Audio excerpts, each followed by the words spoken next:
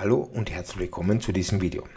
In diesem Video möchte ich auf die Überarbeitung der Normbohrung bzw. Normbearbeitung eingehen.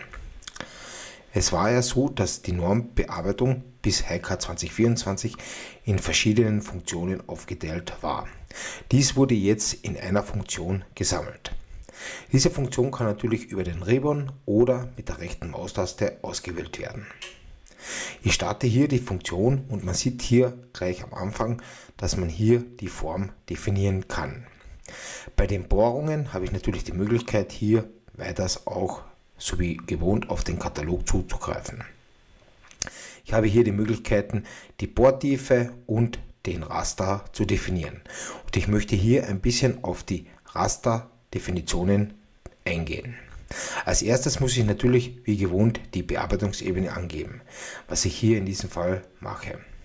Ich möchte eine Bearbeitungsebene angeben und möchte hier im ersten Schritt mit einer normalen Bohrung beginnen. Ich setze hier den Einfügepunkt der Bohrung, welche ich natürlich auch mit absoluten Koordinaten oder mit relativen Koordinaten definieren kann. Aber hier zum Zeigen möchte ich einfach nur einen Punkt wählen. Dieser kann natürlich mit den Parametermaßen jederzeit frei geändert werden. In den nächsten Überarbeitungen sieht man auch hier beim Einbau sofort die Rasterfunktionen, auf welchen, welchen Koordinaten ich mich befinde.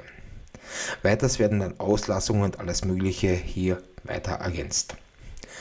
In diesem Fall möchte ich hier auch noch zeigen, dass ich hier jederzeit durch die Vorschau sehe, was ich hier einbauen kann und auch jeweils zu den verschiedenen äh, Formen die verschiedenen Optionen definieren kann. Im ersten Schritt zum Zeigen reicht mir jedoch die normale Bohrung. Bei der einzelnen Bohrung gibt es natürlich hier nicht sehr viele Möglichkeiten, deswegen möchte ich hier dies mit der mittleren Maustaste übernehmen und möchte auf weitere Optionen eingehen.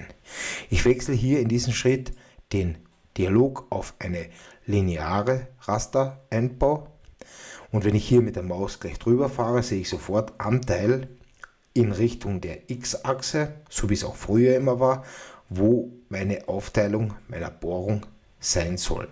Ich wähle hier einen Punkt und dieser wird mir hier übernommen.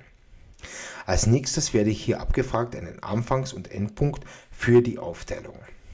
Ich nehme hier ganz einfach eine Kante des Profils, da ich dieses, diese Bearbeitung über das gesamte Profil auf, äh, aufteilen möchte.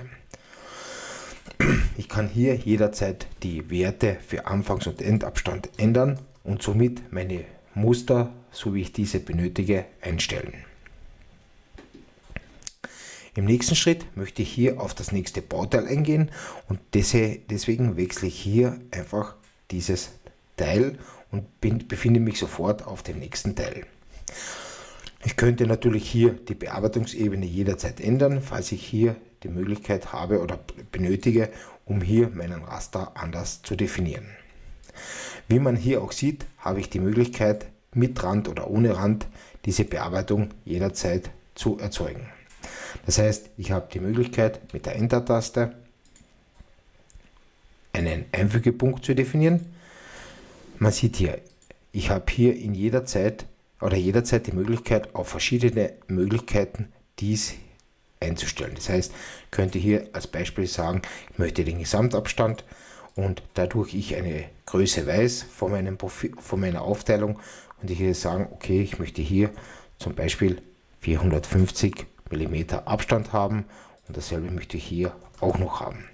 Ich möchte hier verschiedene Möglichkeiten haben, wie ich meine Anzahl definieren kann und kann dies hier jederzeit ändern. Man sieht hier, dass ich natürlich viele verschiedene Möglichkeiten habe, dies zu definieren. Ich möchte natürlich hier auch auf den Gesamtabstand wechseln, um das einfach ein bisschen zu demonstrieren. Und wähle hier wiederum die Mitte als Einfügepunkt. So, man sieht hier, habe ich meinen Raster definiert. Mit der mittleren Maustaste beende ich diesen Raster, da ich dies jetzt auf das nächste Blech erweitern möchte und wiederum mit der Enter-Taste hier die Möglichkeit, dies einzubauen. In diesem Fall möchte ich hier aber nur den Rand einbauen und möchte hier, dass diese Bearbeitung nur am Rand ist. Mittlere Maustaste beendet natürlich wiederum dieses Möglichkeit oder diese Möglichkeit. In weiteren Situationen ist es so, dass ich hier in weiterer Hinsicht auch einzelne Bohrungen löschen, äh, löschen kann und somit komplett individuelle Rasterdefinitionen definieren kann. Im nächsten Schritt möchte ich hier noch an diesem einmal den radialen Raster zeigen, welcher aus meiner Sicht jetzt nicht so spektakulär ist. Das heißt, ich gebe hier einen Punkt an, möchte hier natürlich wieder über den Mittelpunkt.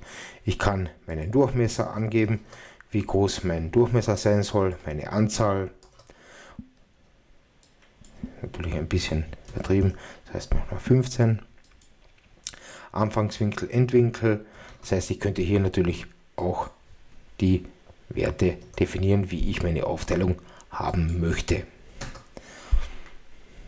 Ich möchte hier einfach mal auf 180 Grad, um es einfach zu zeigen, wie einfach ich hier diese Werte definieren könnte. Und der Anfangswinkel soll auf 0 bleiben. So, ah, jetzt habe ich leider versehentlich abgebrochen.